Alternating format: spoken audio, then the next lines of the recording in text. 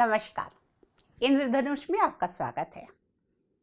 आज फिर आपको मन की सच्चाई, मन की शक्ति के बारे में एक कहानी बताने जा रहे हैं।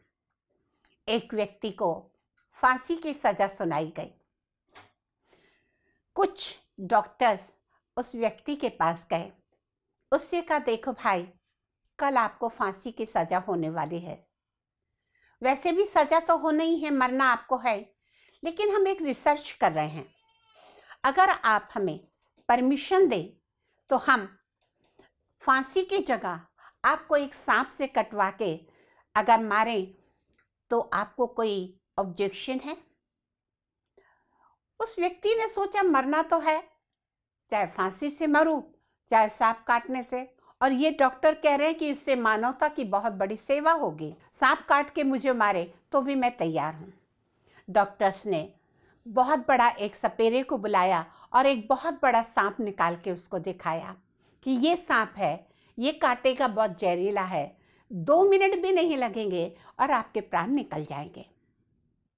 दूसरे दिन ठीक सुबह के समय, जो समय फांसी का था, उस समय वो सारे डॉक्टर्स पहुँची सपेरा आया उसको सांप फिर दिखाया और उसके चेहरे के ऊपर काला कपड़ा डाल दिया गया और उससे कहा कि सांप को छोड़ो।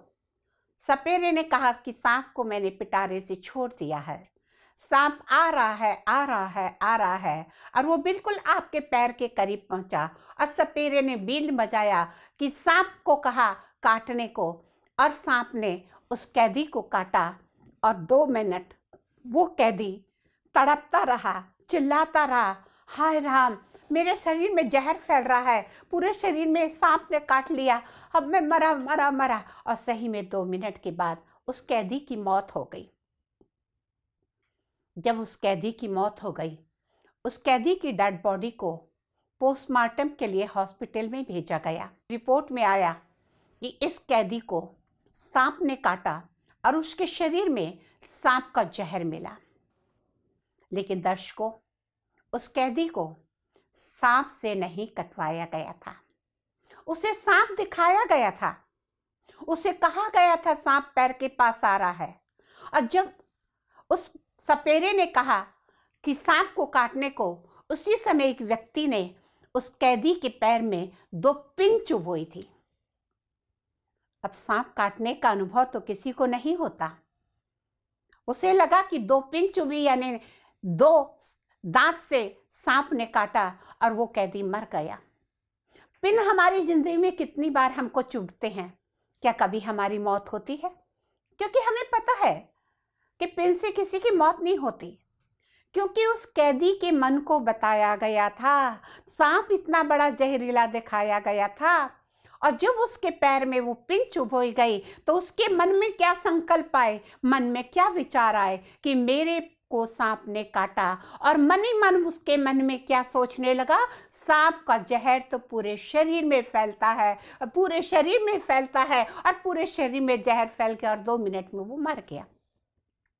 मन के संकल्पों ने मन में जहर पैदा कर दिया और वो व्यक्ति दो मिनट में मर गया। इतनी शक्ति है आपके विचारों में। अगर मन के नकारात्मक संकल्प है तो वो मन में जहर भी पैदा कर सकते हैं। और जैसे कि पहले आपको सुनाया था कि मन के संकल्प अगर हमारे सकारात्मक है तो मन में कहीं ना कहीं अमृत भी पैदा कर सकते हैं। डॉक्टर वाली कहानी सुनाई थी कि कोट के बटन से हार्ट अटैक ठीक हो गया। हमारे मन में ही अमृत है, हमारे मन में ही विष है। इसीलिए कहा, मन के जीते जीत है, मन के हारे हार। मन जीते जगत जीत।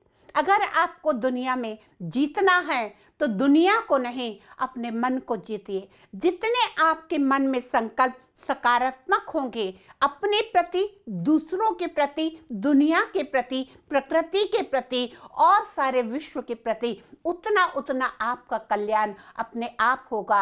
आपको दुनिया में कोई नहीं हराता। आपको अपना कमज़ोर मन हराता है। और मन को पावरफुल बनाने के लिए अगर कुछ पल आप परमात्मा से योग लगाते हैं, साधना करते हैं, जैसे मेडिटेशन करते हैं तो वो मेडिटेशन से परमात्मा की शक्ति आती है।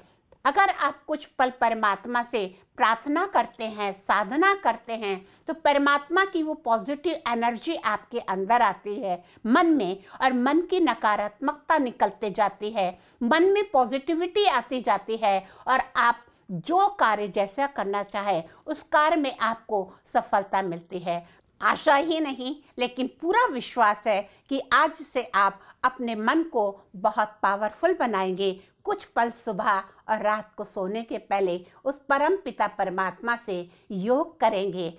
उसकी सकारात्मक ऊर्जा लेंगे ताकि कदम कदम पे आपको सफलता प्राप्त हो। नमस्कार, ओम शांति।